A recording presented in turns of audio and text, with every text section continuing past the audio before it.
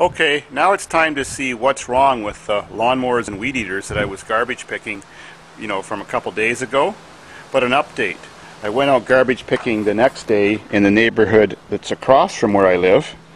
And it's not as good a neighborhood. It's called Northridge in Grenfell. I got these two lawnmowers. That one's partially disassembled but looks like it's all there. And I got two weed eaters and that's all I got in that neighborhood. There's the three weed eaters I got the day before. And the lawnmowers and stuff I got the day before are in the garage and all around. So let's first take a look at this one. Actually not.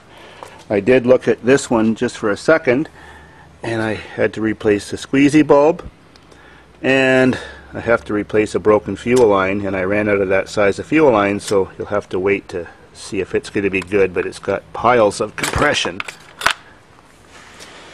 so we'll go through just a procedure to check on this Stihl one first. It has piles of compression. It came with no gas. Everything's exactly as I found it. Haven't been able to see anything wrong with it. So first thing you do is check the condition of the spark plug and check the conditions of the fuel lines. Open the gas cap and make sure your little fuel strainer hasn't broken off with its pipe too and fallen deep inside. So fuel line is connected and onto the filter too. Looks good on the outside. Now to check the spark plug. Looks fairly new but it's a bit oily for some reason. It's probably no big deal.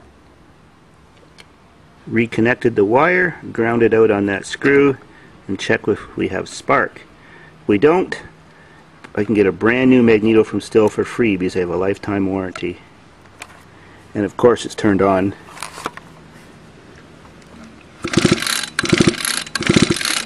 we have spark. We're in business. Spark plugs back in, so next step before I proceed on any weed eater and start cleaning the carb or fixing it up, I always determine if the motor's good. So, even if the carb's totally bad, if you dump a half a teaspoon of two-stroke gas, which that's what that stuff is, into the carb, hold the throttle wide open, make sure it's turned on, it should start up, rev high, and die. Well, if that happens, I'm on to checking the carburetor, adding gas, whatever, see what's the next step. Eh, little spillage doesn't hurt.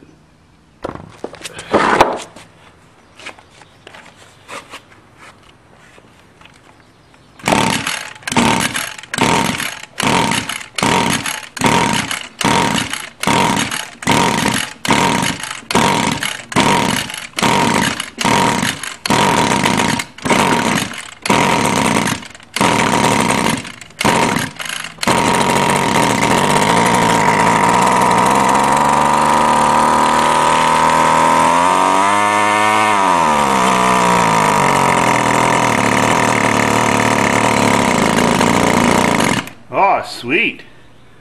That ran a long time for a little dab of gas.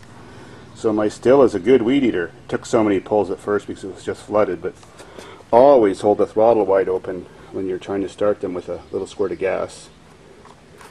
Now to add some gas to the gas tank and see if it'll prime itself and actually see if the carb doesn't need cleaned. So I've got the gas tank half full and obviously since it just ran and died the carb is completely empty. So I give it another tiny shot of gas. There we go, a little bit too much, but anyways. And that might be enough gas to get her to self-prime once the engine starts running because this particular model doesn't have a squeezy bulb to prime it with, unlike that one.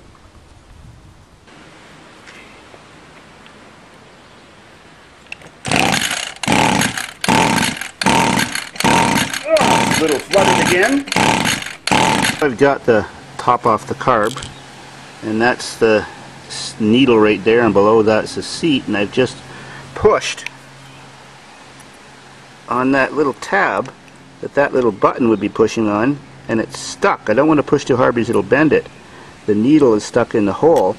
It's not getting any gas from the tank and obviously by all the gas in the muffler and the cylinder I had dumped too much in.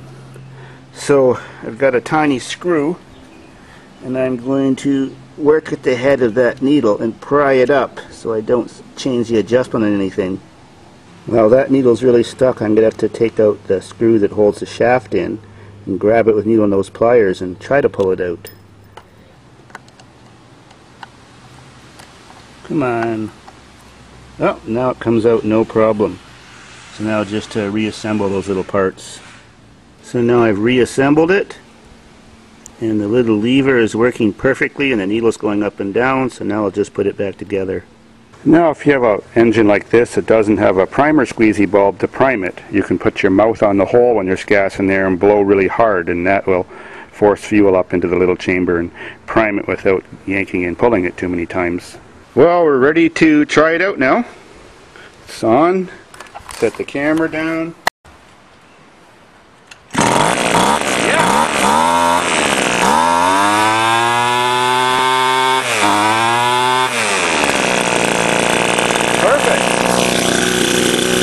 Now just some uh, reassembly.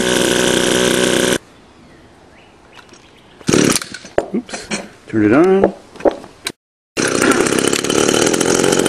Well, next, see what's wrong.